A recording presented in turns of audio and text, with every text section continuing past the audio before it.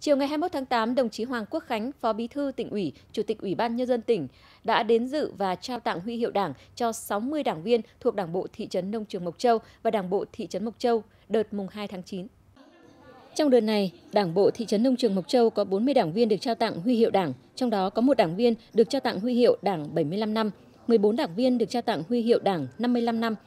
hai đảng viên được trao tặng huy hiệu 50 năm tuổi Đảng, 4 đảng viên được trao tặng huy hiệu 45 năm tuổi Đảng, 14 đảng viên được trao tặng huy hiệu Đảng 40 năm, 5 đảng viên được trao tặng huy hiệu Đảng 30 năm. Đối với Đảng bộ thị trấn Mộc Châu, có 20 đảng viên được trao tặng huy hiệu Đảng, trong đó có 4 đảng viên được trao tặng huy hiệu Đảng 60 năm, 4 đảng viên được trao tặng huy hiệu Đảng 55 năm, 3 đảng viên được trao tặng huy hiệu Đảng 45 năm, 4 đảng viên được trao tặng huy hiệu Đảng 40 năm và 5 đảng viên được trao tặng huy hiệu Đảng 30 năm. Phát biểu tại lễ trao huy hiệu Đảng, đồng chí Hoàng Quốc Khánh đã chúc mừng các đảng viên, đồng thời mong muốn các đảng viên tiếp tục giữ vững và phát huy phẩm chất cách mạng của người đảng viên, gương mẫu vận động gia đình, nhân dân thực hiện nghiêm chủ trương, đường lối của Đảng, chính sách pháp luật của nhà nước, quy định của địa phương, góp phần cùng Đảng bộ và nhân dân các dân tộc trong tỉnh thực hiện thắng lợi nghị quyết Đại hội Đảng bộ tỉnh Sơn La đã đề ra.